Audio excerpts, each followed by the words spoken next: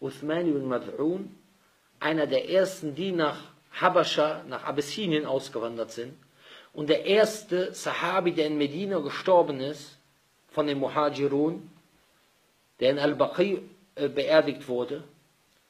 Und Uthman ibn Mad'un, eines Tages kam ein gewisser Sha'ir, ein gewisser Poet namens Labid, und er hat etwas gesagt im Schir, was gegen die Botschaft Allah ist, und er sagt, kadhabt.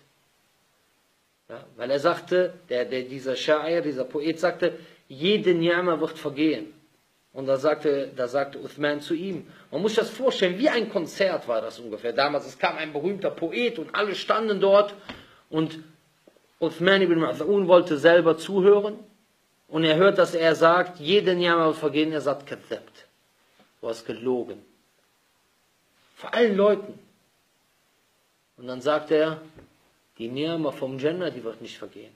Weil Allah die für die ewige Belohnung, für die, für die, für die Gläubigen, weil, weil Allah das Paradies als ewige Belohnung für die Gläubigen vorbereitet hat. Ja. Er sagt. Die Ni'ma, die Gnade, die Gabe vom Jannah, vom Paradies wird nicht vergehen.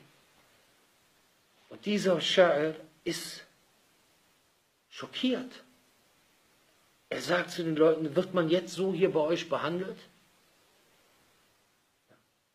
Hier bei euch unter den Quraysh hier in Mekka? Und daraufhin kam es zu einer Schlägerei und Uthman ibn Ma'da'un wurde am Auge verletzt, beziehungsweise verlor sein Auge, wird auch gesagt.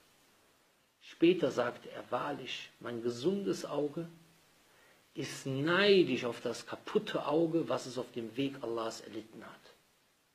Das ist die Einstellung, die man haben muss.